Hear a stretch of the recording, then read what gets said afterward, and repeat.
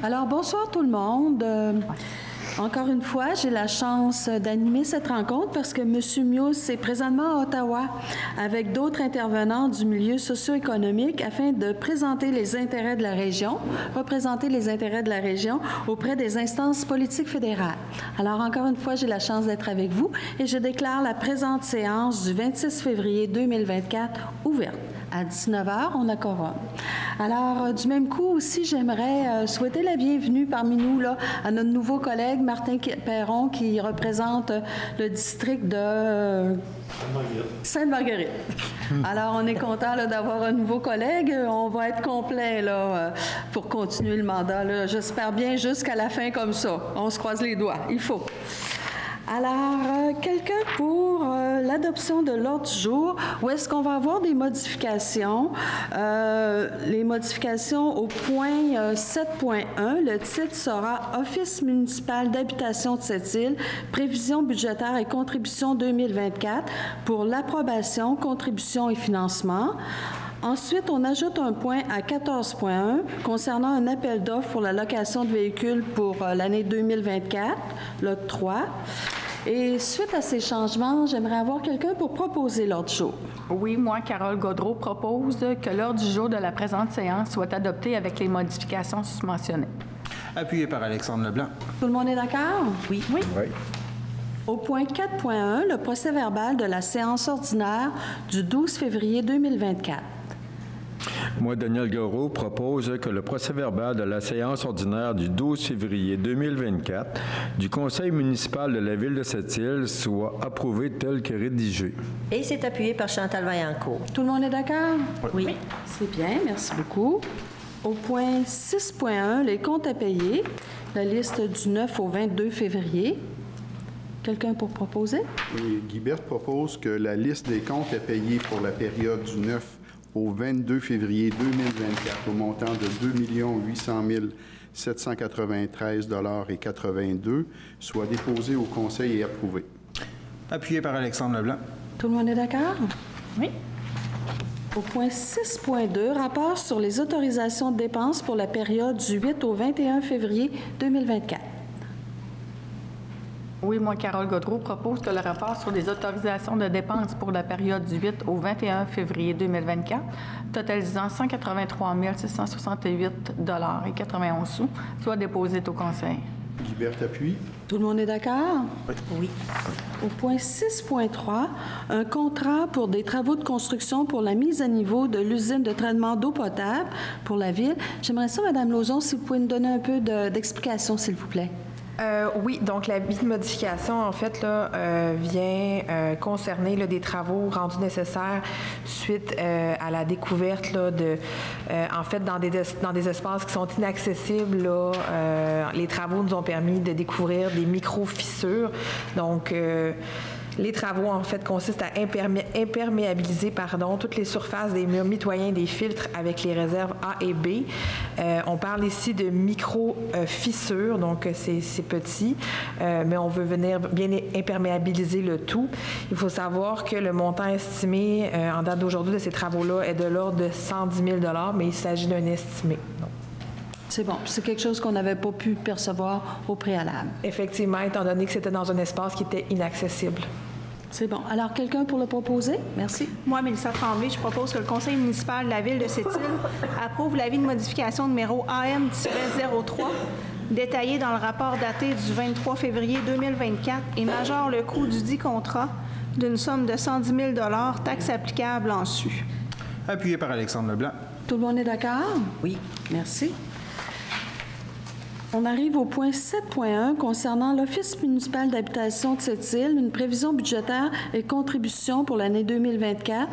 En fait, c'est l'approbation, la contribution et le financement. Est-ce que vous pouvez nous donner un petit peu d'explication, Madame Lauzon? Euh, oui. En fait, euh, chaque année, la Ville de Sept-Îles doit en fait, euh, souhaite contribuer financièrement euh, au budget d'opération de l'OMH. Donc, ce soir, dans la résolution, il y a une première partie qui concerne la contribution financière de la Ville au budget d'opération de l'OMH. Cette contribution-là se calcule en fonction de leur déficit d'opération. Il y a également la contribution financière de la Ville annuelle au programme de supplément au loyer, le, PSL, qui sera prévu dans la résolution. C'est bon. Puis ça, c'est une pratique courante. Vous procédez à, ce- ces- cette résolution-là à chaque année, effectivement. Parfait. Contribution annuelle. Alors, quelqu'un pour le proposer? Oui, ça fait suite euh, aux signatures des années 70 là, pour la construction des OMH. là. OK, fait que ça fait un petit moment quand même. OK, merci.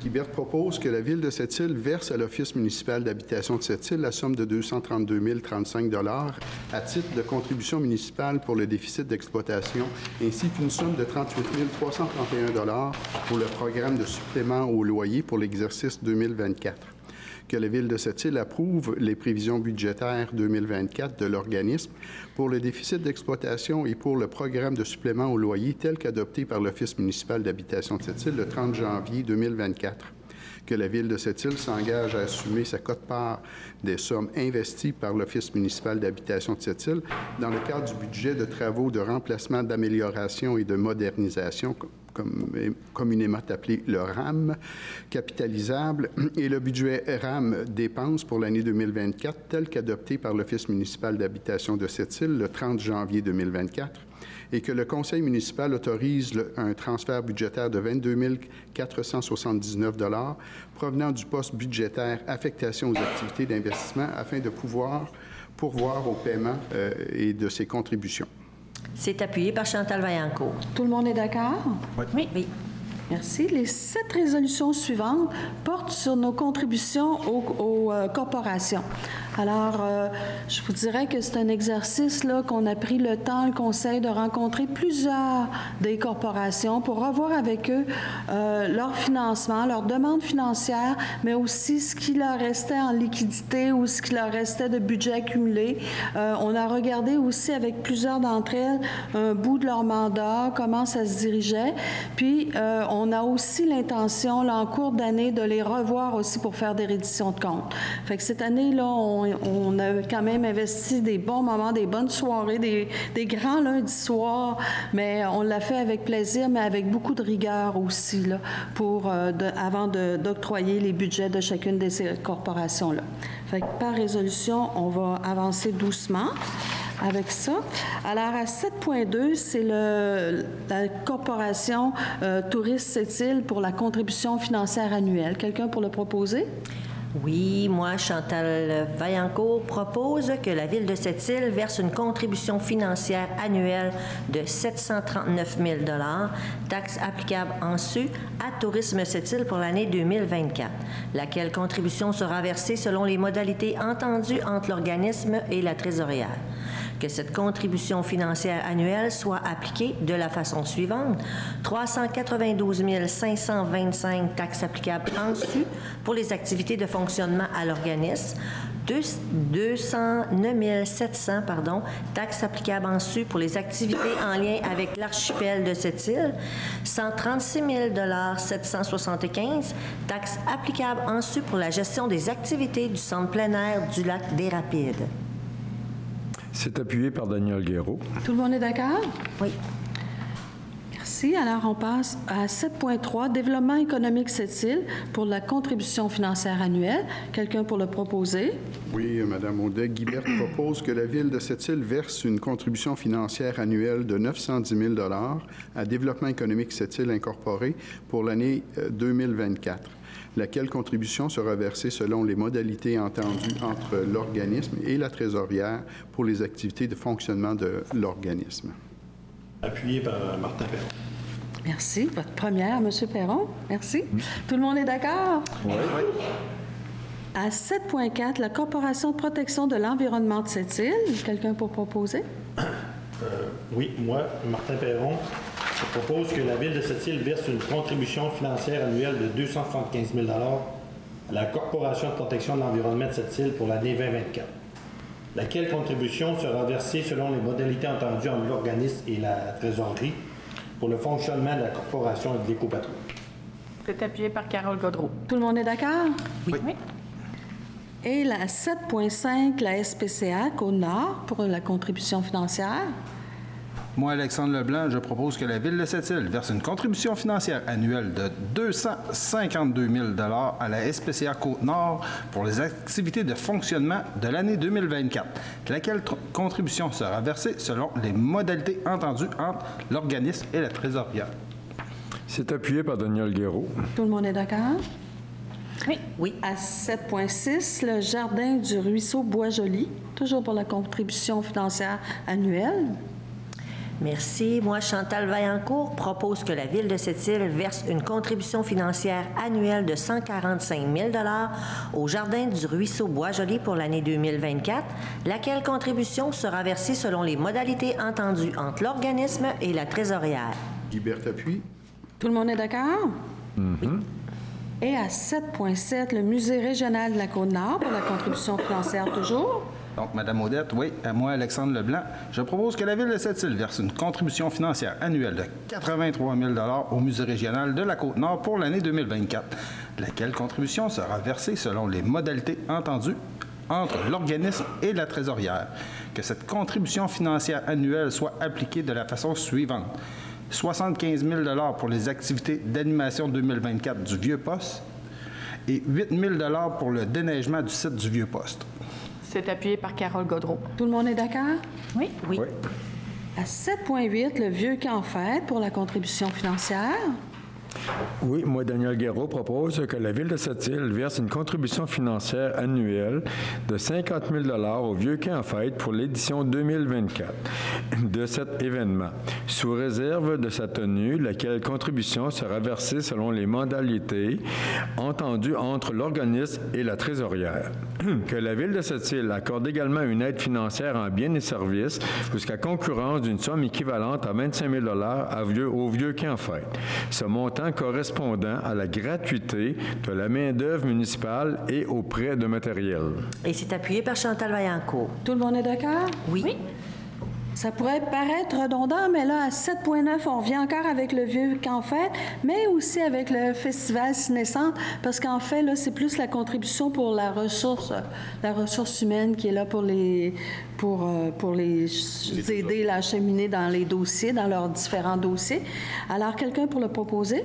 Oui, Guibert propose que la Ville de Sept-Îles verse une contribution financière annuelle de 15 000 à Vieux Quai en Fête et une contribution financière annuelle de 5 000 à Festival Ciné-7 afin de contribuer financièrement à l'embauche d'une ressource commune aux deux organismes, les dites aides étant pour l'année 2024 et non récurrentes que le conseil municipal exige une reddition de compte de la part des deux organismes dans les six mois du versement des contributions financières, au plus tard le 31 mars 2024. Appuyé par Martin Perrin. Madame Odette, je vais me retirer pour cette résolution. Parfait. Je pense que c'est prudent parce que M. Leblanc là, a des fonctions au niveau du ciné-centre. Fait que je pense que c'est une- un beau devoir de réserve. Alors, est-ce que tout le monde est d'accord? Oui. Oui. Merci.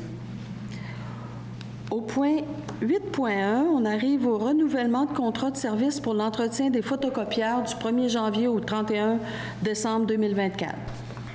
Oui, moi, Daniel Guéraud, propose que l'offre de renouvellement de contrat de service reçu de Numérique Solutions d'affaires pour l'entretien des photocopieurs de la municipalité du 1er janvier au 31 décembre 2024 soit conclue de gré à gré pour la somme de 25 188 taxes applicables en su. Euh, appuyé par Carole Godreau. Tout le monde est d'accord? Oui. Au point 8.2, appel d'offres concernant des fournitures de lubrifiants pour les véhicules et machineries du 1er mars 2024 au, au 28 février 2025. Quelqu'un pour le proposer? Oui, Guibert propose que le contrat d'achat 1407-12, fourniture de lubrifiants pour véhicules et machinerie du 1er mars 2024 au 28 février 2025, soit accordé au plus bas soumissionnaire conforme, soit GDL Distribution, pour la somme de 68 865 et 61 sous, taxes applicables en sous. Appuyé par Martin Perron. Tout le monde est d'accord? Oui. Merci. Au point 8.3, c'est une demande de prix pour des services professionnels d'accompagnement durant les travaux de conception d'un développement domiciliaire dans le secteur de Sainte-Famille. Octroi et financement, mais d'abord, j'aimerais avoir un peu d'explication, Madame Lauzon. Oui, donc la Ville souhaite en fait commander des études de sol euh, qui sont, c'est important de le mentionner, qui sont complémentaires à celles qui ont déjà été réalisées par le passé. On parle d'études qui ont été réalisées dans les alentours des années 2014 à 2016. Donc, pour venir évaluer l'opportunité de faire un développement domiciliaire euh, sur les rues Antonio-Normand et Le Ventoux. Donc, on en est vraiment à venir euh, commander simplement des études de sol, venir faire une analyse, une analyse qui se veut complémentaire d'une précédente. C'est bon. Fait qu'on explore différentes possibilités. Tout à fait. Excellent. Alors, Je peux poser une question? oui, bien sûr. On estime à combien de lots à peu près qui pourraient être disponibles? Euh, oui, en fait, euh, sous toute réserve, là, on pense peut-être à une quarantaine de lots, dépendamment là, des, des résultats de l'étude et de la capacité portante du sol. Donc, on se garde une petite réserve, là, mais peut-être euh, une quarantaine de lots, là, ce serait réaliste. C'est bon. Fait qu'on envisage beaucoup de possibilités. Différentes possibilités. C'est bien. Hein? Oui. Alors, quelqu'un pour le proposer.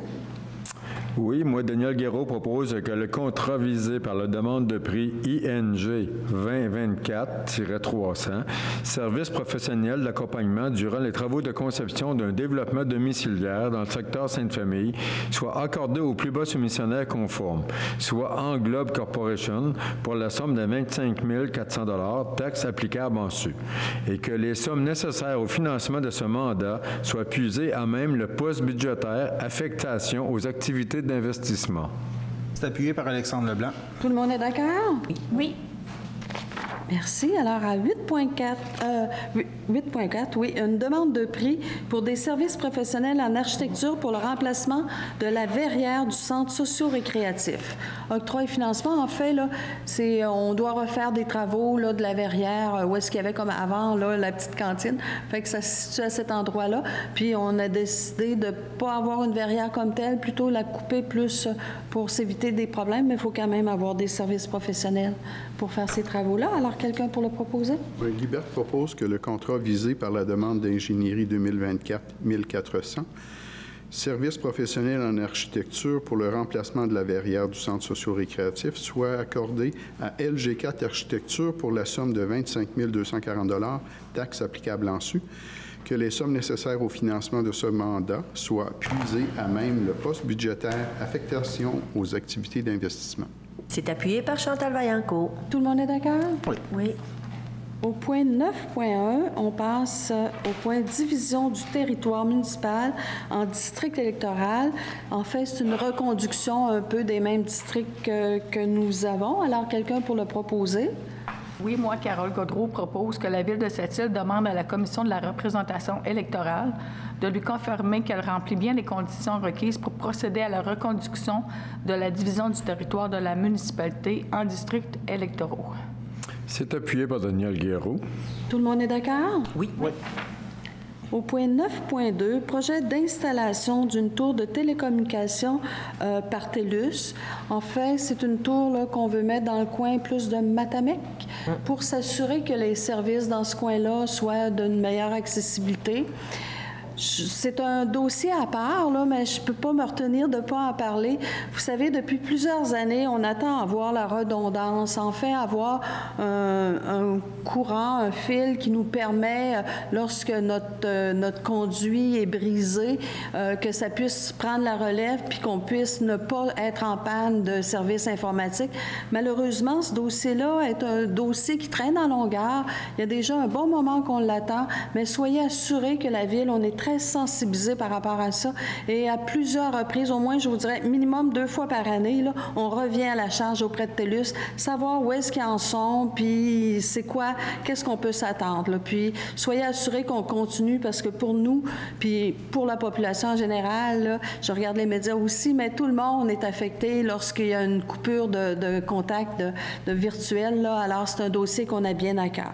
Mais ce, pour cette résolution-là, au moins, on va y aller. Ça va favoriser là, les gens euh, du secteur de Matamec pour avoir des meilleures connexions. Alors, la proposition? Oui, moi, Carole Godreau propose que la Ville de Sept-Îles informe la société TEDUS qu'elle est favorable au projet d'implantation d'un site de télécommunication comprenant une nouvelle tour soumis par TEDUS et projeté au 2500 route Jacques-Cartier à Sept-Îles. C'est appuyé par Chantal Vaillancourt. Tout le monde est d'accord? Oui. Oui. On passera au point 9.3, avis de projet pour l'agrandissement du lieu d'enfouissement technique de la ville de Sept-Îles. Pouvez-vous nous donner un petit peu de détails, Madame Lauzon? Oui. Euh, il faut savoir qu'il est présentement estimé, puis c'est pas la première fois qu'on en parle, mais ça va me faire plaisir de, de nous rafraîchir la mémoire. Donc, il faut savoir qu'il est présentement estimé que le LET, le lieu d'enfouissement technique, euh, va atteindre là, sa pleine capacité d'enfouissement au cours des années 2027-2028. Et puis, on en est à concevoir en fait là, quel sera notre prochain, euh, notre prochain lieu d'enfouissement technique. Donc, euh, le lieu avait déjà été sélectionné. On parle des terrains qui sont présentement adjacents euh, au LET actuel. Euh, où est-ce qu'on en est rendu dans ce dossier-là? Il y avait déjà le groupe euh, Alpha qui avait été mandaté pour la réalisation d'une étude d'avant-projet dans ce dossier-là. Et euh, aujourd'hui, ce que le Conseil, on vous demande, c'est le dépôt, euh, c'est l'adoption d'une résolu- d'une résolution pardon, pour mandater euh, cette firme-là à déposer le projet au ministère de l'Environnement en vue de l'obtention des, ent- des autorisations requises. Merci beaucoup pour l'explication. Alors, quelqu'un pour faire la proposition? Oui, Gilbert propose que le conseil municipal autorise le groupe Alphar Incorporé à présenter pour et au nom de la ville de Sept-Îles une demande d'avis de projet au ministère de l'Environnement, de la lutte contre les changements climatiques, de la faune et des parcs en vertu de la loi sur la qualité de l'environnement. Que Mme Pascale Pierre ou Mme Sonia Sylvestre du groupe Alphar Incorporé soient autorisées à signer tous les documents exigés dans le cadre du projet avis de projet pour l'agrandissement du lieu d'enfouissement technique de la ville de Sept-Îles. C'est appuyé par Alexandre Leblanc. Tout le monde est d'accord? Oui.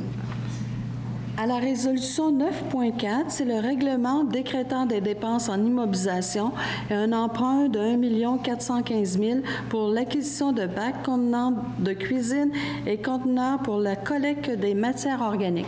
Puis là, je reprends vos paroles, Madame Lauzon. Ça aussi, c'est un dossier qu'on a souvent parlé. On a tellement hâte que ça arrive.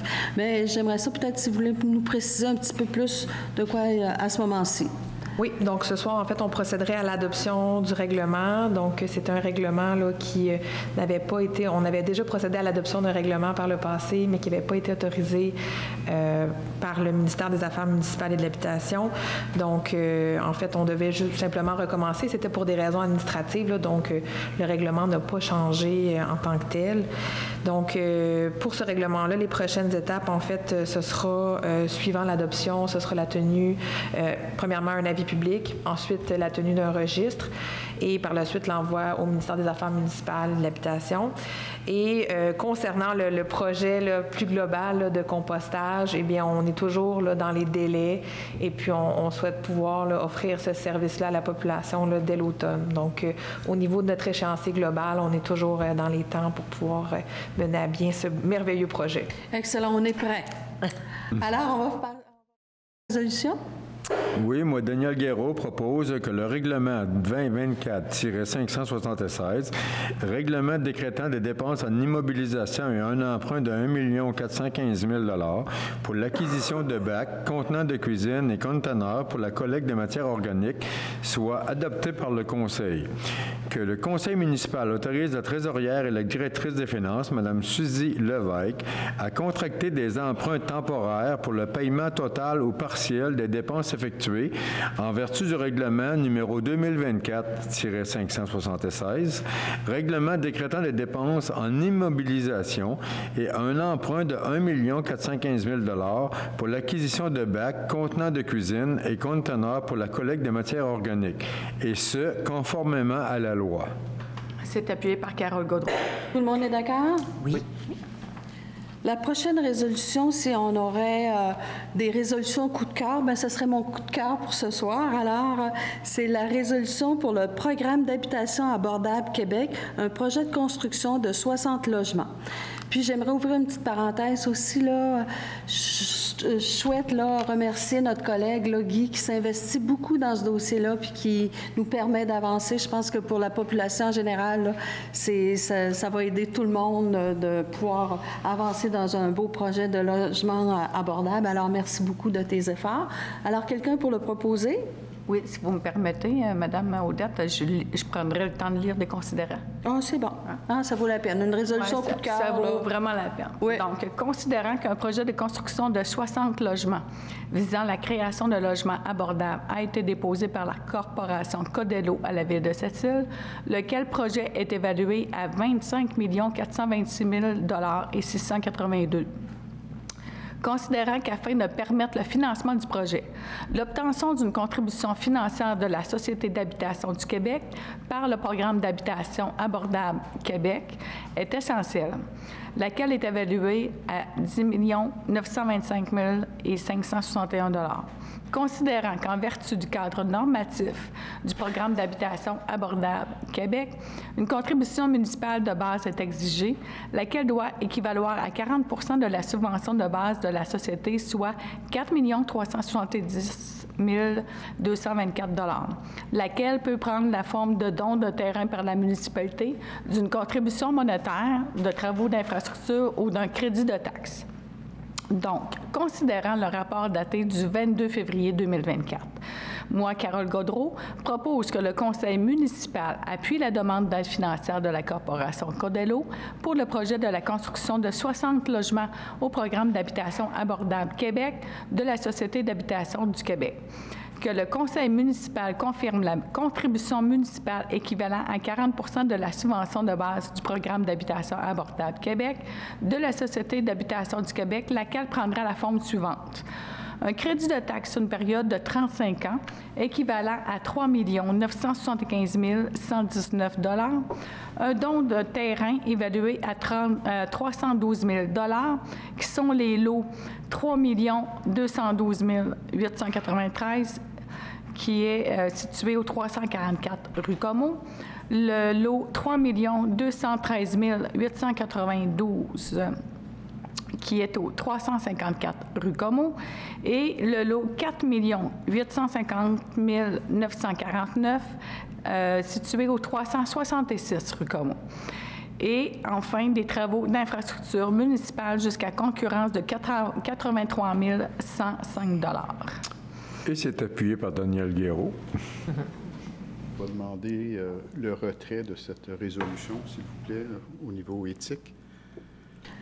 Euh, je profiterai de l'occasion en même temps pour, euh, je suis flatté de les commentaires que vous avez faits avant, mais moi, ça me fait vraiment plaisir de pouvoir travailler à, à contribuer au développement de cette île. Ça me fait vraiment plaisir. Puis, je veux également vous remercier, le, conseil, mes collègues, là, le- féminine et masculin, de, puis le maire également, d'avoir euh, accepté de travailler avec Codello dans, le développement de- de ce projet-là. Puis aussi, euh, je voudrais remercier les, les employés municipaux parce que c'est dans l'espace de quelques semaines qu'on a réussi à, à arriver à comprendre tout le programme, euh, d'établir un, un- une, une- voyons, je perds mes mots, je suis trop ému.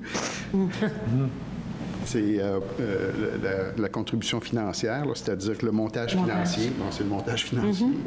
Euh, c'est- en l'espace de quelques semaines, on a réussi à faire ça, puis à rencontrer euh, tous les administrateurs de la ville, la directrice générale et les gens qui travaillent avec, euh, avec elle pour s'assurer qu'on on fasse bien les choses à la ville de cette île. Puis merci beaucoup à vous, puis d'autant plus que cette résolution-là, à partir de demain matin, c'est le déclencheur des demandes d'aide financière.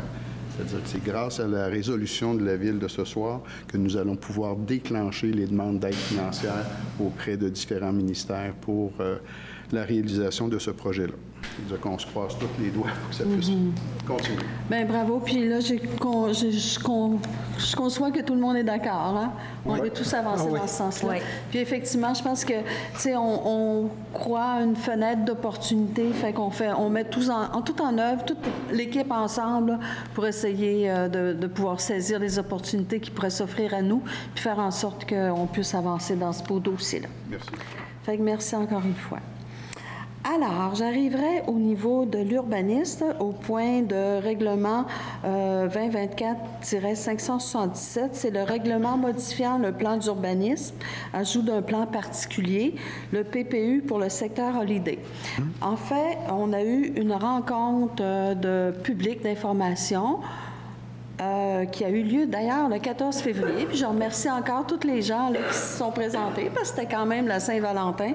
Puis de cette rencontre-là, on a entendu les préoccupations, euh, des gens présents. Euh, puis je prends la peine de prendre un peu de temps pour vous les dire, puis faire aussi, vous signifier les modifications qu'on a apportées aussi au règlement. Alors, au niveau de la voie de contournement, on voyait là que à la fois les gens étaient contents de savoir que la voie de contournement était prévue dès le début du projet, mais euh, des préoccupations sont quand même là au niveau de s'assurer que ça puisse, surtout pour les piétons qui vont avoir à circuler euh, pour aller, disons, d'un stationnement à l'autre, faire en sorte que ce soit sécuritaire. Il y a une préoccupation à ce niveau-là. Euh, les espaces verts aussi sont une grande préoccupation. L'accès aux sentiers, aux pistes pour, euh, pour euh, des sentiers, mais aussi au ski de fond. Là, c'est une, une grande préoccupation. Euh, tout l'aspect des boisés, des espaces verts, euh, on a senti que c'était important pour les gens. Il y avait aussi euh, des questions là, au niveau du drainage des eaux pluviales, euh, la capacité portante du sol, la nappe phréatique au niveau de la contamination, des préoccupations qui ont été émises en regard de ça, et les étangs aérés. Alors, devant ça, on a apporté effectivement des modifications au niveau du projet de règlement, euh, principalement là, au niveau des termes, euh, plutôt qu'être des fossés, on appelle c'est de l'irrigation hein, en fait, là, c'est pas du drainage. Fait qu'on va corriger ça au niveau du, de nos documents. Euh, il y avait aussi une phrase où est-ce qu'on disait qu'il n'y avait aucune espèce végétale ou animale d'intérêt particulier qui avait été repérée. On a nuancé là euh, euh, qu'il n'avait pas eu au moment où est-ce que l'évaluation avait été faite des sites. Et aussi, euh, euh, on vient nuancer là, des études géotechniques supplémentaires pour être requises afin de statuer avec plus de précision sur la capacité portante du terrain. Ça, c'est des choses qu'on a captées puis qu'on va faire les modifications. Oui, juste pour euh, parce qu'il y a un petit, euh, Un petit- Oui, en fait, on remplace euh, l'irrigation par le drainage. OK, j'ai dit l'inverse? Oui. OK. Ah ouais. Ouf, hey, merci. hein. Il n'y a pas de C'est problème. pour ça qu'on travaille en équipe. Merci. Euh, c'est ça. Puis, disons, c'est sûr qu'au niveau, parce que, tu sais, c'est une préoccupation qui a été soulevée, puis qui, qui nous préoccupe aussi. Euh, puis, j'y reviens là au niveau de la capacité portante des sols. C'est sûr qu'il y a eu, nous, disons, ce, qu'on, ce qui est sur le site, qui a été rendu public par les promoteurs, c'est une étude de 2013, mais il y en a eu par la suite qui ont été effectuées en 2021 qu'on a pu voir, euh, mais qu'on encourage, on a, on a demandé aussi aux promoteurs de les rendre publics. Parce que je pense que dans ces études-là, ça allait un petit peu plus loin, puis ça nous permettait de nous sécuriser pour ce qui était de la phase 1 et 2.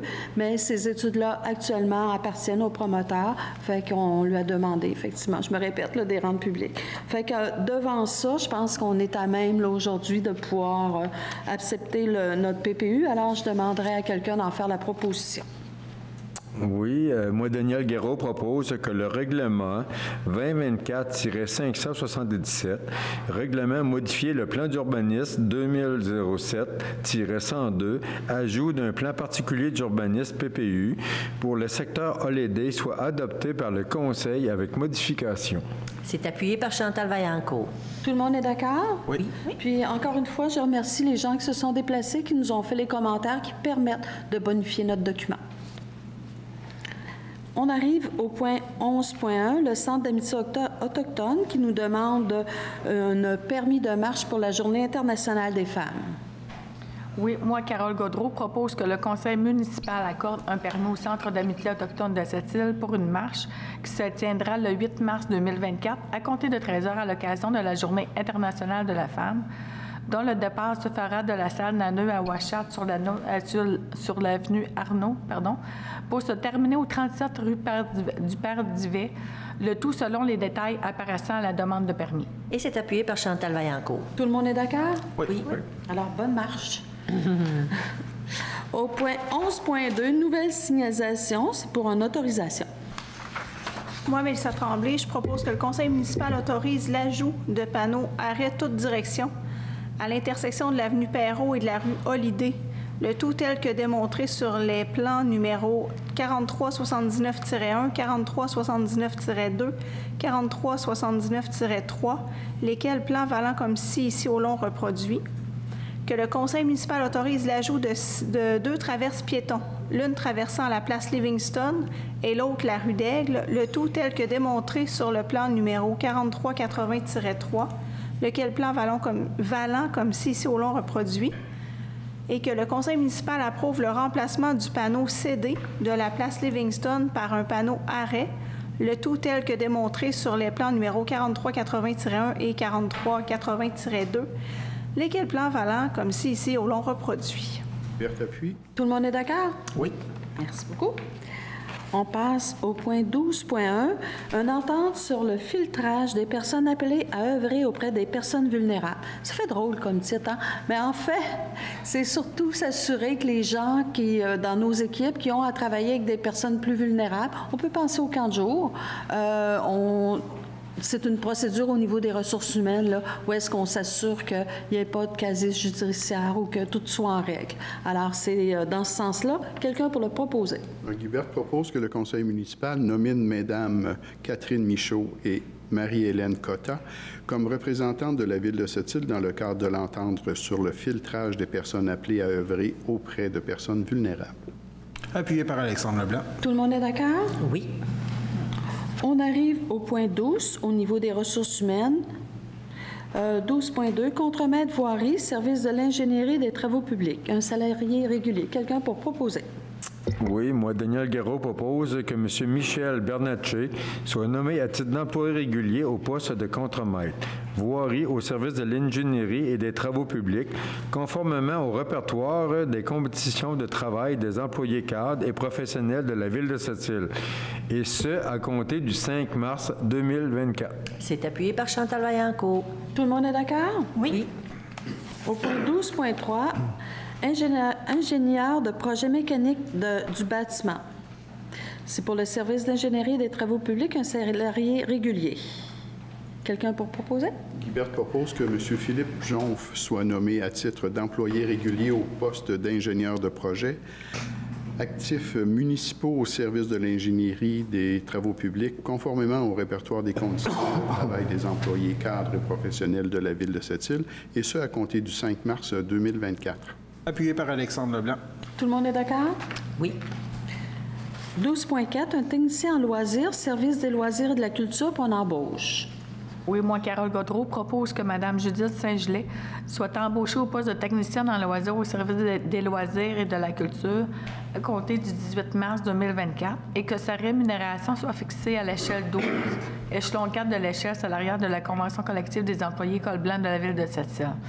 Que son embauche est, euh, soit assujettie à la période d'essai prévue à l'article 4.04 de la Convention en vigueur. Guibert appuie. Tout le monde est d'accord? Oui. Au point 12.5, le- un capitaine, le service des sécurités incendie pour une embauche. Oui, moi, Chantal Vaillancourt, propose que M. Serge Dagenet soit embauché au poste de capitaine au service de la sécurité incendie à compter du 28 février 2024 et que sa rémunération soit fixée à la classe 3, échelon 7 de l'échelle salariale du répertoire des conditions de travail des employés cadres et professionnels de la Ville de Sept-Îles. Son embauche est assujettie à la période d'essai prévue à l'article 3.03 du répertoire en vigueur. Appuyé par Alexandre Leblanc. Tout le monde est d'accord? Oui. Au point 12.6, un lieutenant éligible, service de sécurité incendie, toujours pour une embauche. Moi, Mélissa Tremblay, je propose que M. Benoît Gagnon soit embauché au poste de lieutenant éligible au service de la sécurité incendie à compter du 22 avril 2024 et que sa rémunération soit fixée à l'échelon 7 de l'échelle salariale des lieutenants éligibles conformément à la convention collective du syndicat des pompiers et pompières du Québec, section locale Sept-Îles. Son embauche est assujettie à la période d'essai prévue à l'article 3.20 de la convention collective en vigueur. Et c'est appuyé par Chantal Vaillancourt. Tout le monde est d'accord? Oui. 12.7, lieutenant éligible, service de sécurité incendie, pour une nomination. Oui, moi, Carole Godreau propose que M. Luis Pedro Pereira Bernardo soit nommé sur le poste de lieutenant éligible au service de la sécurité incendie à compter du 27 euh, février 2024. Que sa rémunération soit fixée à l'échelon 2 de l'échelle salariale des lieutenants éligibles, conformément à la Convention collective du syndicat des pompiers et pompières du Québec, section locale 7 que son embauche soit assujettie à la période d'essai prévue à la- à l'article 3.20 de la Convention collective en vigueur. Appuyé par Chantal Vaillancourt. Tout le monde est d'accord? Oui. Oui. Au point 12.8, un- toujours un lieutenant éligible pour le service de la sécurité incendie pour une nomination. Oui, moi, Martin Perron, propose que M. Kevin Rioux soit nommé sur le poste de lieutenant éligible au service de la sécurité incendie à compter du 27 février 2024, que sa rémunération soit fixée à l'échelon 1 de l'échelle salariale des, lieutenants éligibles confor- conformément à la convention collective du syndicat des pompiers et pompières du Québec, section locale 7 îles. Son embauche est assujettie à la période d'essai prévue à l'article 3.20 de la convention collective en vigueur. C'est appuyé par Daniel Guéraud. Tout le monde est d'accord? Oui. Au point 12.9, lieutenant éligible, service de sécurité incendie pour une nomination. Moi, Mélissa Tremblay, je propose que M. Carl Foran soit nommé sur le poste de lieutenant éligible au service de la sécurité incendie à compter du 27 février 2024, que sa rémunération soit fixée à l'échelon 2 de l'échelle salariale des lieutenants éligibles conformément à la convention collective du syndicat des pompiers et pompières du Québec, section locale Sept-Îles. Son embauche est assujettie à la période d'essai prévue à l'article 3.20 de la convention collective en vigueur. Appuyé par Alexandre Leblanc. Tout le monde est d'accord? Oui. Au point 12.10, pompier, service de sécurité incendie pour une embauche. Moi, Mélissa Tremblay, je propose que M. Simon Chénier soit embauché au poste de pompier au service de la sécurité incendie à compter du 4 mars 2024 et que sa rémunération soit fixée à l'échelon 1 de l'échelle salariale des pompiers conformément à la convention collective du syndicat des pompiers et pompières du Québec, section locale Sept-Îles. Son embauche est assujettie à la période d'essai prévue à l'article 3.20 de la convention collective en vigueur. Et c'est appuyé par Chantal Vaillancourt. Tout le monde est d'accord? Oui. Oui. 12.11, un pompier, service de sécurité incendie pour une embauche. Moi, Alexandre Leblanc, je propose que M. Gabriel Laforge soit embauché au poste de pompier au service de la sécurité incendie à compter du 18 mars 2024 et que sa rémunération soit fixée à l'échelon 1 de l'échelle salariale des pompiers conformément à la convention collective du syndicat des pompiers et pompières du Québec, section locale Sept-Îles. Son embauche est assujettie à une période d'essai prévue à l'article 3.20 de la convention collective en vigueur. Appuyé par Martin Perron. Tout le monde est d'accord? Oui. Oui. On passe au point 13.1, règlement numéro 2024-575, règlement amendant le règlement numéro 2021-466 relativement à la tarification des différents services et infrastructures du service des loisirs et de la culture. Pour une adoption, s'il vous plaît? Guibert propose que le règlement 2024-575, euh, règlement amendant le règlement 2021-466, relativement à la tarification de différents services et infrastructures du service des loisirs et de la culture, soit adopté par le Conseil. Tout le monde... Oh, excusez. C'est appuyé par Daniel Guéraud. Tout le monde est d'accord? Oui. J'allais un petit peu trop vite, là. Alors, à 13.2, entente de développement culturel. Moi, Alexandre Leblanc, je propose que la Ville de Sept-Îles accorde les subventions suivantes. Ini- Initiative de développement des publics, Salon du livre de la Côte-Nord, 4 500 Création et art public, Jardin du Ruisseau Boisjoli, 2 660 Que les sommes nécessaires au versement de cette subvention soient puisées à même l'entente de développement culturel 2021-2023. Guibert appuie. Tout le monde est d'accord? Oui. On se souviendra que l'entente de développement culturel, en fait, c'est une entente tripartite où est-ce que Alouette contribue, le ministère de la Culture et nous, la Ville de Sept-Îles. Puis c'est une entente sur trois ans qui devrait être renouvelée. Là, on continue encore pour cette année, mais qui va être renouvelée l'année prochaine. Là, on, on va travailler là-dessus cet automne là, pour la renouveler. Mais je pense que c'est un beau moteur parce que ça permet là, de pouvoir faire euh, différents projets qui visent l'art et la culture. Au point 13.3, le 257e rapport du comité de subvention. Alors, quelqu'un pour le proposer? Oui, moi, Daniel Guéraud, propose que la Ville de Sept-Îles verse une aide financière de 10 000 à l'organisme Transit Sept-Îles à titre de soutien financier annuel pour la réalisation de sa mission. Que la Ville de Sept-Îles verse une aide financière de 3 000 au groupe Scout de Sept-Îles afin de défrayer une partie des coûts pour leurs activités en lien avec la prévention incendie Scout Tombe Pile. Que la Ville de Sept-Îles accorde une aide financière en biens et services au club de ski de fond, rapido correspondant à la gratuité du prêt de matériel et son transport jusqu'au site du lac des Rapides, ainsi qu'à la main-d'œuvre sollicitée pour dégager des espaces de stationnement supplémentaires dans le cadre des activités du club pour souligner leur 50e anniversaire, ainsi qu'au Lopet 2024, et ce jusqu'à concurrence de 700 que la Ville de Sept-Îles verse une aide financière de 500 dollars à l'Inime des Sables dans le cadre du 14e télé-radioton La Récolte qui aura lieu le 7 avril 2024 que la Ville de Sept-Îles verse une aide financière de 230 dollars à la Société historique du Golfe, Inc.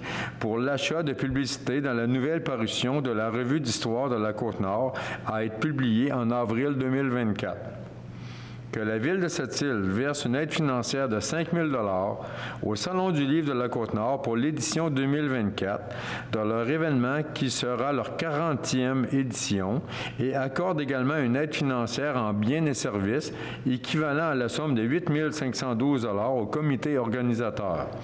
Ce montant est correspondant à la gratuité de la location de l'aréna Guy Carbonneau ainsi qu'à la gratuité de la main-d'œuvre municipale. Page suivante. Il y a un autre taux de page. Que la Ville de Sept-Îles accorde une aide financière correspondante à la gratuité de la location de l'aréna Guy Carbonneau et une aide en, une aide en biens et services jusqu'à concurrence de 5 693,50 au comité organisateur du bal de finissant de l'école Manicouté, dans le cadre du bal qui se déroulera le 1er juin 2024 à l'aréna Guy Carbonneau. C'est appuyé par Alexandre Leblanc. Tout le monde est d'accord? Oui. La- le projet de résolution maintenant à 14.1 dans les affaires nouvelles, euh, l'appel d'offres concernant la location de véhicules pour l'année 2024. Pour octroi, Guibert propose que le contrat d'achat 500-460, location de véhicules pour l'année 2024, soit accordé au plus bas soumissionnaire conforme, soit à Location Sauvageois Incorporée pour la somme de 140 140 et 72 sous, taxe applicable en su. Appuyé par Alexandre Leblanc. tout le monde est d'accord? Oui. Maintenant, on passerait au tour de table des conseillers. Alors, je commencerai par vous, M. Perron, notre nouveau, euh, nouveau arrivé. Ce, soir, bon- bonsoir à tous. Ce soir, c'est mon, premier conseil municipal et c'est un honneur pour moi de, représenter les citoyens de mon district. Puis j'entreprends ce mandat avec humilité et euh, je suis conscient que j'ai beaucoup à apprendre. Euh, je voudrais mentionner que je suis un gars d'équipe euh, et je souhaite apporter euh, un nouveau regard sur les défis de la ville à venir. Merci beaucoup. On est tous contents aussi que vous soyez euh, avec nous. Puis, on est convaincus que vous allez pouvoir nous apporter une bonne contribution, tout comme vous allez sûrement pouvoir apporter un bon soutien aux gens de votre district. Alors, merci d'être là. Puis, merci aussi aux gens qui se sont présentés parce que, quand même, une campagne électorale, il y avait quand même quatre autres candidats. Puis, on les remercie euh, d'avoir été là pour euh, faire une belle campagne. Monsieur Leblanc? Je m'en allais dire bienvenue à M. Perron. Vous venez de le faire pour nous tous, je crois. Donc, pour M. Perron, bienvenue parmi nous. Et pour moi, ce soir, c'est tout. Je vais profiter de l'occasion pour euh, euh, annoncer que l'horaire de l'hôtel de ville, là, à compter du 11 mars prochain, euh, les heures d'ouverture vont être modifiées, c'est-à-dire que du lundi au vendredi, du lundi pardon, au jeudi, l'ouverture se fera à 9 h au lieu de 8h30 jusqu'à midi, de 13h jusqu'à 16h au lieu de 16h30, le vendredi de 9h au lieu de 8h30 jusqu'à midi 30. Puis euh, d'annoncer euh, en même temps que ce changement euh, est accordé pour plus de flexibilité au niveau de nos employés. De plus, on peut profiter pour euh, utiliser le, les systèmes Internet pour ceux qui peuvent le faire, là, parce qu'en ligne, on peut obtenir les permis de l'urbanisme, on peut également payer une contravention, on peut consulter les informations sur son compte de taxe ou son évaluation foncière de la propriété. Et on peut également payer les comptes de taxes municipales, euh, tout comme les loyers de terrain pour les gens du, Parc Ferland, peuvent aussi euh, payer en ligne. Puis je pourrais rappeler qu'on est à la dernière semaine pour le premier paiement euh, au niveau des taxes municipales. Cette année, c'est une année, une année euh, bisextile. hein. Il y a une journée de plus dans l'année. On va avoir le 29 février. Ça veut dire que, en théorie, c'est le 28. Je pense qu'on peut aller jusqu'au 29 pour faire le premier versement. Le deuxième versement, c'est le 31 mai. Le troisième versement, c'est le 31 août. Euh, si on veut euh, euh, d'être privilégié pour pouvoir faire tous les versements, il faut vraiment débuter avec le premier euh, pour le 28 février. Puis je voulais aussi juste faire du pouce un peu sur ce qu'on on a passé comme résolution. Ce soir, il y en a une, euh, la résolution 7.1, où on traite de l'OMH. Euh, ju- juste un, petit historique, parce que des fois, on l'oublie ou les gens euh, sont un peu moins au courant. C'est qu'à travers le Québec, le gouvernement fédéral, SCHL, et le gouvernement du Québec, SHQ, ensemble, se sont entendus avec les municipalités à travers la province pour construire des OMH, des, loyers à prix modique. Et ça, ça a débuté à la fin des années 60, début 70 à, à travers le Québec. Puis ici, à cette île, la ville de cette île, depuis les années 70, contribue avec le gouvernement fédéral et provincial dans la construction, la gestion, puis les rénovations de ces édifices-là. Les contributions municipales tournent autour d'à peu près 10 Quat- 45% euh, de la part du provincial et 45% de la part du fédéral. Donc, euh, à l'intérieur de la ville de cette île, on a plus de 400 logements qui sont attribués, qui ont été construits au fil des années. Euh, il y en a pour les familles, puis il y en a pour les personnes, euh, pour les aînés. On a parlé de PSL, c'est un supplément au loyer. Ça, c'est des gens, des propriétaires privés qui ont du logement dans la ville et qui acceptent d'avoir une personne euh, à revenu euh, faible de louer son loyer à cette personne-là et la Ville de cette île et le gouvernement du Québec contribuent à, la différence euh, des sommes d'argent pour euh, le propriétaire privé. Donc, on appelle ça un PSL. Il y en a plus de 100 dans, dans la Ville de cette île. Et puis, à la fin du programme HLM, euh, le gouvernement du Québec a créé un programme qui s'appelait Accès Logis. Aujourd'hui, on a parlé du FAC pour un, projet qui est, en cours. Et aussi, ici, à cette île, on a construit 100 logements euh, avec la ville de cette île, le gouvernement fédéral et le provincial. Vents et marées, 40 logements, le 830 Doucet, euh, habitation des îles, il y a, il y a 60 logements. Donc, on le voit, on le constate que depuis les années 70, vraiment, il y a une préoccupation municipale à travers le, le Québec pour le logement pour les personnes qui sont démunies. Puis la ville de cette île en a fait partie, puis continue d'en faire partie. Euh, je voulais juste faire un petit historique de ça. Bien, c'est bon. hein? Vous comprendrez que M. Berthe est d'une source de renseignements important pour nous, pour toutes les préoccupations qui touchent le logement. Merci beaucoup. Alors, Daniel? Bonjour. Moi, je présente, ben, vais parler un peu de la relance scolaire. Euh, c'est pour dire que le transport va être gratuit vers la station de ski. Je vais vous donner les arrêts où ça va partir. L'arrêt de 8h15, il va être à 8h15 au centre socio-récréatif, 8h20 à Place de Ville devant Super C. 8h25, les Galeries Montagnaises devant le Saint-Hubert. 8h30 à la clinique vétérinaire Place de Lons. Et à 8h35 au marché ce au Parc Ferland. Et le retour de départ de la station va se faire vers 15h30. Et ça, ça va être du 1er au 10 de mars inclusivement. Puis les places sont limitées à 48 passagers, parce qu'on a un autobus, fait que arrivez pas en retard, s'il vous plaît. Puis j'aurais juste... Je voudrais pas être prophète de malheur, là, mais je, je conseillerais aux gens quand même de regarder les conditions de la station avant de partir, parce qu'avec la météo qui nous est annoncée, là, c'est, c'est un petit peu énervant. Là. Ben, plus parce que c'est de la pluie puis on va perdre notre belle neige, mais peut-être pas non plus. Il faut rester optimiste, mais peut-être euh, juste euh, par prudence, là, toujours vérifier les, les conditions avant. Je m'en viens avec le plan B en cas de pluie. OK, excellent. Puis en- Laisse continuer. Puis un autre petit point, ben, vu qu'on parle de pluie, euh, ben, comme vous savez, moi, je m'occupe des gens aînés. Ça fait que, vu qu'on parle de pluie, puis on va, on va parler de gel qui va arriver le soir. Fait qu'il va y avoir euh, de la glace, euh, de la glace noire qui va y avoir sur les, l'asphalte, qu'on va avoir sur les trottoirs.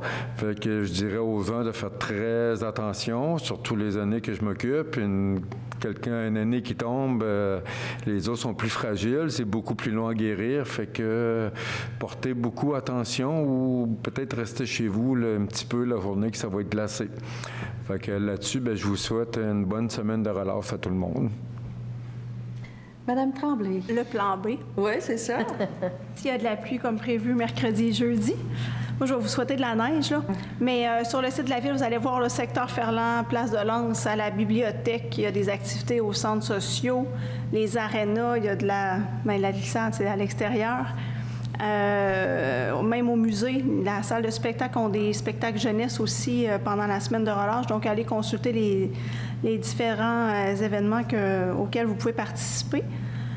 Aussi, je veux juste revenir parce que c'est positif, le logement. Puis avec Guy et le- les administrateurs de la ville, on a créé le comité de l'habitation.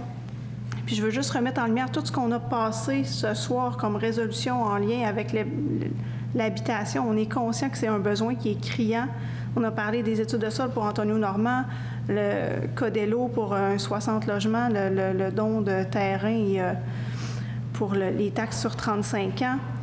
Euh, ensuite, euh, le, PPU pour le, projet Holiday. Donc, c'est positif. On se rencontre régulièrement toutes les trois semaines, un mois, pour faire un suivi serré de- des dossiers qui avancent tranquillement, puis de vraiment saisir toutes les opportunités qui peuvent s'offrir à nous.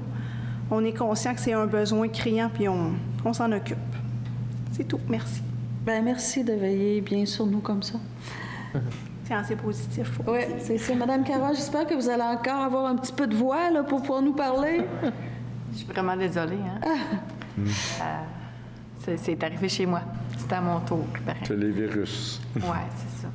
Donc, euh, ben, en fait, j'aurais deux petites choses euh, pour vous. Là. Euh, seulement vous rappeler là, à la population en général là, que quand vous avez des... vous, faites des petites découvertes, là, vous avez des, des petites choses à dire, vous remarquez que le coin de rue n'a pas été déblayé, que la patinoire n'a pas... manque de but ou peu importe, là, pour n'importe quelle requête citoyenne. On vous invite vraiment à appeler au 418-964-3300. C'est une ligne qui est vraiment dédiée au service à la clientèle. Il faut savoir que ce soit le soir, les fins de semaine, il y a toujours quelqu'un qui te garde dans les services. Donc, euh, sachez que euh, c'est beaucoup plus rentable et productif d'appeler par ce service-là. Et euh, en fait, ça, aide aussi à ce que ça soit colligé comme données pour nous, pour les secteurs. Puis il y a toujours, comme je vous dis, il y a toujours des personnes de garde dans les différents services. Donc, c'est beaucoup plus efficace, je vous dirais. Donc, ça, c'était mon premier point. Et je voulais juste dire aux gens de mon secteur que c'est un avis euh, qui pourrait survenir pour un avis d'ébullition d'eau. Euh, je vous dis qu'il pourrait parce que euh, je vais vous demander d'aller voir demain ou plus tard mercredi matin sur le- la page de la ville de Sept-Îles soit sur le site Internet ou directement sur la page Facebook, c'est qu'il va y avoir des travaux euh, visant une réparation d'un bris sur le réseau d'aqueduc dans le secteur de la place de la Boule. Euh, mercredi, entre 10h et 17h, il pourrait y avoir une coupure d'eau temporaire. Donc, suite à ça, euh, il va y avoir un avis préventif d'ébullition euh, qui va être en vigueur, soit de faire bouillir l'eau au moins une minute. Donc, euh, cet avis-là concerne les résidences de rue Saturne, Vénus, Mercure et Mars, ainsi qu'une partie des rues Nicolas Lévesque et Louis Joliette, et peut-être quelques propriétés sur le chemin des Forges. Donc, allez voir, allez euh, consulter là, euh, la page là, euh, Facebook ou bien le site de la ville pour savoir, en tout cas, pour avoir l'information à savoir s'il y a coupure d'eau ou non. Donc, euh, sur ça, moi aussi, je vous souhaite une bonne euh, semaine de relâche. Profitez-en. Euh, sortez de vos écrans. Sortez de vos maisons. Profitez-en. Merci. Madame Chantal. Oui, merci. Vous savez que moi, j'aime beaucoup les activités sétiliennes qui se passent à cette île. Fait que je vous invite en fin de semaine, justement la fin de semaine de relâche, euh, les hivernants, fin de semaine qui va avoir lieu au musée, euh, pas au musée, au Vieux Poste, pardon. Fait qu'il va y avoir des groupes locaux aussi, des groupes de musique locale. Fait que je vous invite à y aller aussi, c'est vraiment le fun. J'invite aussi les gens à se procurer, euh, peuvent maintenant se procurer le passeport pour le Festigrill qui va avoir lieu le 8, 9 et 10 août. Vous pouvez le faire maintenant. Puis euh, le passeport aussi du Vieux Quai en fête euh, qui va avoir lieu du 11 au 14 août également aussi. Vous procurez le passeport. Puis euh, jusqu'à maintenant, je pense qu'on a vraiment une belle panoplie de spectacles qui nous sont offerts à cette île. Fait que j'invite les gens aussi pour ça. Puis en même temps aussi de regarder, de prendre la peine, parce que moi, je suis allée, j'étais pas... euh, c'est de la page Facebook de la bibliothèque Louis-Ange Chanter. Il y a vraiment, euh, quand on fait, on clique sur la page J'aime, il y a vraiment des activités à la bibliothèque dont j'ignorais moi-même, puis que franchement, là, il y a pas mal des belles activités. Je pense que les gens de cette île, ils ont quand même euh, du choix pour faire des activités. Donc, comme tous mes collègues n'ont parlé, je vous souhaite une belle semaine de relâche aussi. Puis je pense que on a bien des choses à se désennuyer et qu'également, comme Carole disait, de lâcher les écrans. Ça va être bien. C'est bon. Merci. Merci beaucoup. Il y a toujours aussi tout point cette île. Juste, euh, c'est- le vieux camp, en fait, c'est du 11 au 14 juillet, pas août. Ah, OK. Bon, on a le temps d'ici là de faire notre agenda. C'est juillet. C'est juillet. Ouais.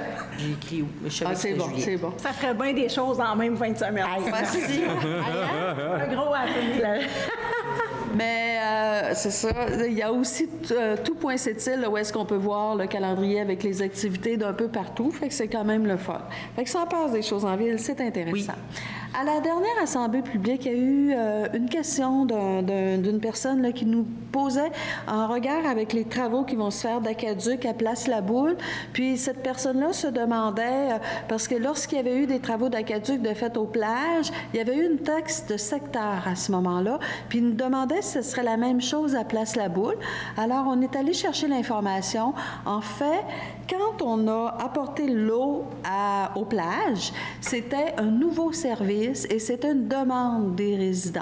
Alors à ce moment-là, c'est pour ça qu'on avait passé, ben je dis on là, moi j'étais pas là à l'époque, mais les gens avaient décidé d'en faire une taxe de secteur, tandis qu'à Place La Boule, le service est déjà offert via des, un puits central, là, mais euh, le service est déjà là, c'est pas un nouveau service. Alors c'est pour ça qu'à Place La Boule, il n'y aura pas de taxe de secteur. C'est ce qui, c'est la différence, là, c'est l'explication.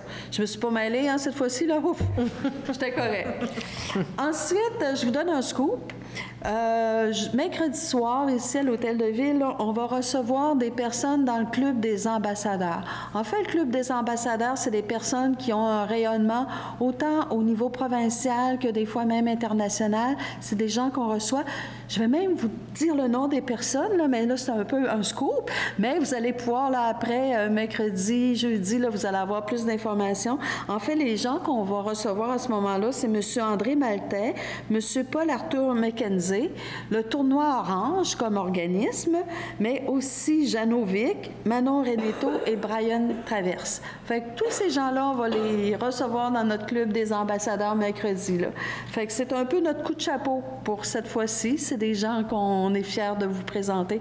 Puis on va avoir de plus amples détails à partir de, de jeudi, mercredi soir, jeudi. Maintenant, on passerait aux questions des journalistes. Bonjour à tous. Vincent Rioux-Berroir, Journal Le Nord-Côtier.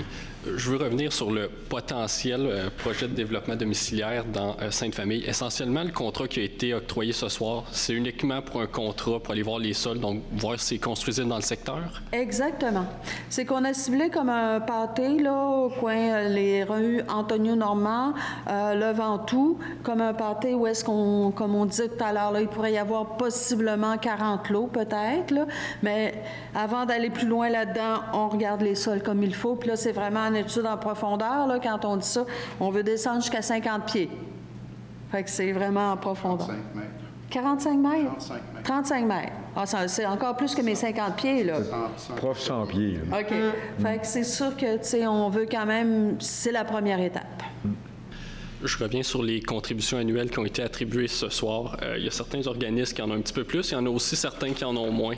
Euh, je pense notamment, bon, je, allé voir mes chiffres, j'espère qu'ils sont bons comparés à ceux de l'an dernier, mais je vois que Tourisme, cette île en a un peu moins.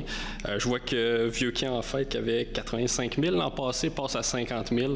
Euh, comment est-ce qu'on justifie ces, ces baisses de montant-là? Comme je vous disais, tout ça, c'est issu d'une étude qu'on fait pour chacune des corporations de façon individuelle. On regarde ce comme avoir propre déjà dans leur coffre d'argent qu'on leur avait donné les années subséquentes. On regarde combien ils ont, combien ils ont besoin pour réaliser leur mission, puis on comble la différence à l'intérieur de ça. Mais c'est vraiment là, du cas par cas.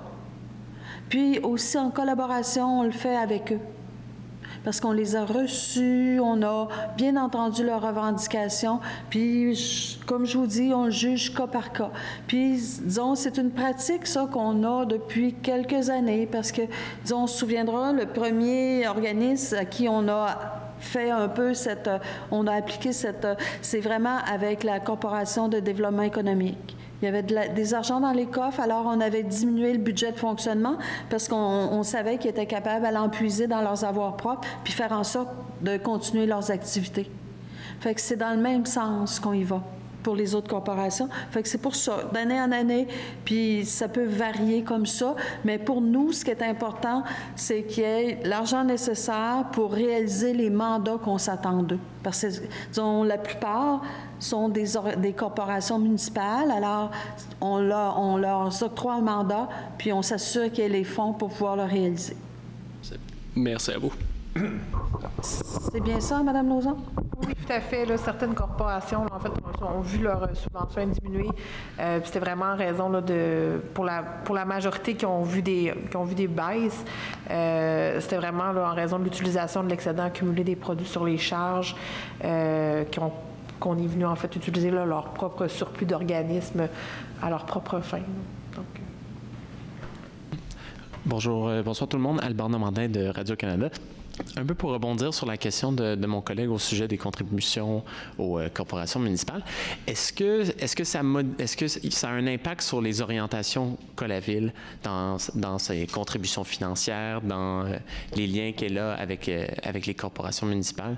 Je veux dire, de- des baisses, là, des baisses de contributions pour ce qui est de Tourisme Québec, euh, Ben, pour la corporation dirais- de protection.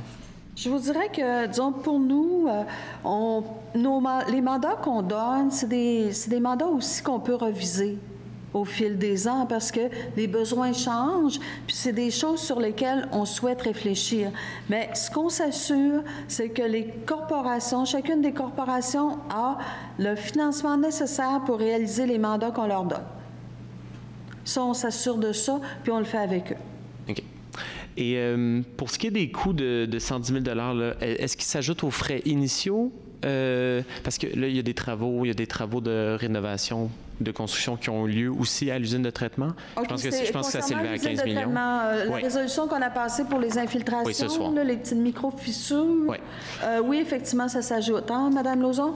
Euh, en fait, l'avis de modification vient eff- effectivement prévoir des coûts supplémentaires, mais ces coûts-là sont prévus à l'intérieur de notre règlement d'emprunt. donc, ce ne sera pas des coûts supplémentaires à défrayer. C'était en fait prévu dans, notre budget de projet, qui est tout le temps euh, des dépassements de coûts. donc, euh, c'est prévu dans le règlement d'emprunt. Il n'y a pas de problème. OK. Puis est-ce que ces frais-là sont séparés avec Washat McManus ou c'est toute la ville qui, aura à, gérer ce, ce 100 000 Est-ce que c'était il était déjà prévu dans la contribution de la ville à ces travaux-là?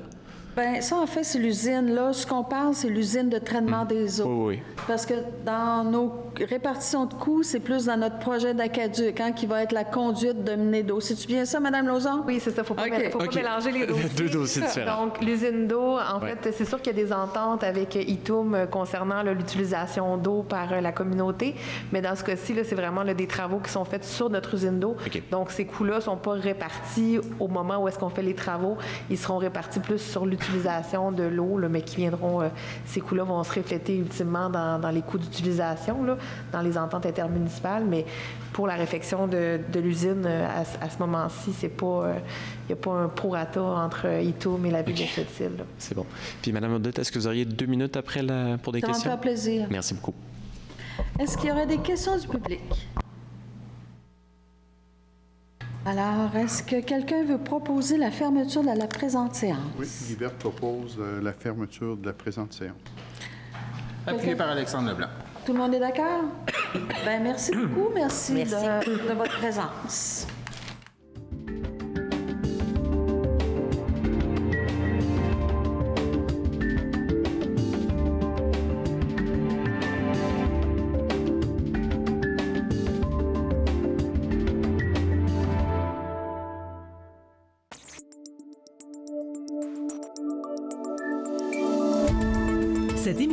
D'accès est appuyée par Cogeco et est rendue possible grâce à la collaboration de la communauté avec Nous TV.